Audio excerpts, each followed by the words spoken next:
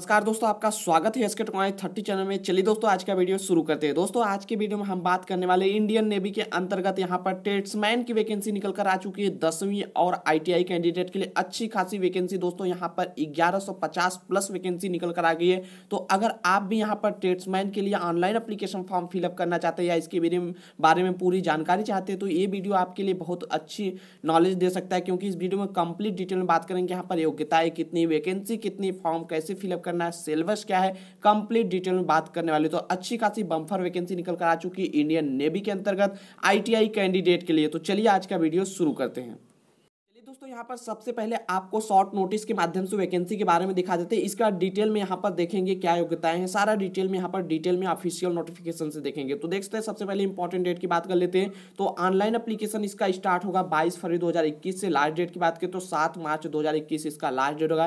Fees की payment की बात करें तो यहाँ पर जनरल ओबीसी के मेल कैंडिडेट के लिए दो सौ पर फ़ीस रखा गया है। एस सी कैंडिडेट और सभी फीमेल कैंडिडेट के लिए कोई फ़ीस नहीं है। इसके बाद यहाँ पर वैकेंसी की बात कर लेते हैं। तो यहाँ पर देख सकते हैं ग्यारह टोटल वैकेंसी आपको देखने को मिल जाएगा। One one five nine post है, जो कि अपने आप में अच्छी खासी यहाँ पर वैकेंसी है। चलिए यहाँ पर देख सकते हैं वैकेंसी आप टोटल ट्रेड्समैन की वैकेंसी मिल जाएगी। इंडियन नेवी के अंतर्गत ट्रेड्समैन की वैकेंसी एज लिमिट की बात करें तो अट्ठारह से पच्चीस आपकी रखी गई। एज की काउंटिंग यहाँ पर आप देख सकते हैं, सात मार्च दो हज़ार इक्कीस से किया गया किया जाएगा। इसके अलावा एज में जो रिजर्वेशन है, वो गवर्नमेंट के रूल के अकॉर्डिंग मिल जाएगा। योग्यता की बात कर लेते हैं, योग्यता क्या होनी चाहिए? सबसे पहले आप दसवीं पास होना चाहिए और उसके पास जो है, उसके बाद आपके पास आईटीआई का सर्टिफिकेट होना चाहिए। तो आप अप्लाई कर सकते हैं। यहाँ पर नीचे आएँगे तो आपको देख सकते हैं पोस्ट मिल जाएगा।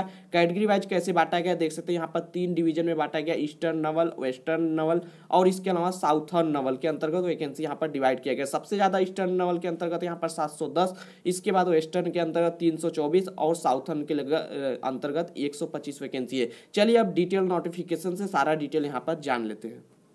चलिए दोस्तों, लेकिन उसके पहले यहाँ पर वीडियो शुरू करने पहले बता दूँ, अगर आप चैनल पर रहे तो चैनल को सब्सक्राइब करके बेल आइकन प्रेस कर लीजिए। साथ में इस वीडियो को लाइक कर दीजिए। चलिए देख लेते हैं यहाँ पर वैकेंसी जो निकल कर आई। द इंडियन नेवी के अंतर्गत यहाँ पर अच्छी खासी ट्रेड्समैन की वैकेंसी दो हज़ार इक्कीस के लिए आ चुकी है। ग्रुप सी की वैकेंसी है, नीचे आप आएँगे तो आपको सारा डिटेल मिल जाएगा। यहाँ पर सबसे पहले पे स्केल की बात कर लेते हैं तो ग्रुप सी आपको अट्ठारह से लेकर छप्पन तक का पे लेवल आपको मिलने वाला है। और वैकेंसी आप देख सकते हैं, फिर से आपको यहाँ पर दिखा देते हैं। तीन डिवीज़न में बढ़कर आई यहाँ पर ईस्टर्न नवल कमांडेड और वेस्टर्न, साउथर्न के अंतर्गत वैकेंसी यहाँ पर देख सकते हैं, आपको देखने को मिल जाएगा। इस प्रकार आपको वैकेंसी की बात करें तो ग्यारह टोटल वैकेंसी नीचे आप आएँगे तो यहाँ पर आपको रिजर्वेशन देखने को मिल जाएगा और बाकी डिटेल मिल जाएगा, इसको रीड कर सकते हैं। इसके अलावा यहाँ पर नीचे आते जाइए तो आपको सारा एज की काउंटिंग यहाँ पर एज देखते हैं, अट्ठारह से पच्चीस साल रखा गया है।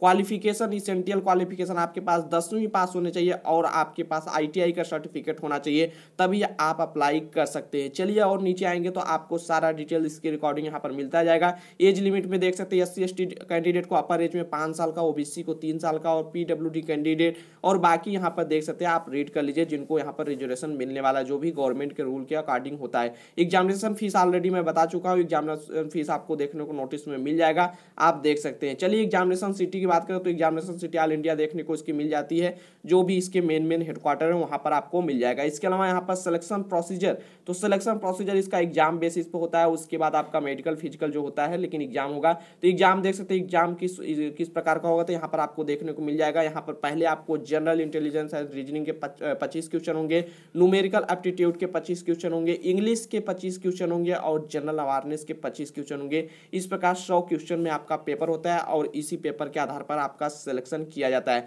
यहाँ पर सिलेबस भी आपको डिटेल में देखने को मिल जाएगा, जनरल इंटेलिजेंस के क्या क्या आएँगे, न्यूमेरिकल एप्टीट्यूड के, इसके अलावा जनरल इंग्लिश के, जनरल अवेयरनेस के क्या क्या क्वेश्चन आएँगे। एग्जामिनेशन डेट की बात करें तो एडमिट कार्ड पे आपको सारा डिटेल देखने को मिल जाएगा जब इस इसका फॉर्म फिलअप करेंगे, एडमिट कार्ड आएगा तो यहाँ पर आप रीड कर लेते हैं। इंपॉर्टेंट डेट की बात कर लेते हैं, फिर से एक बार आपको बता दें, यहाँ पर देखते हैं, बाईस फरवरी से आपका दस बजे से ऑनलाइन अप्लीकेशन स्टार्ट हो जाएगा, और जैसे स्टार्ट होगा, आपको चैनल पर इसका ऑनलाइन फॉर्म फिलअप वाला वीडियो मिल जाएगा, इसलिए चैनल को सब्सक्राइब करके बेलाइकन प्रेस करना बिल्कुल ना भूलें। लास्ट डेट की बात करें तो सात मार्च दो इसका लास्ट डेट है, इसके पहले आपको फॉर्म फिलअप कर लेना है।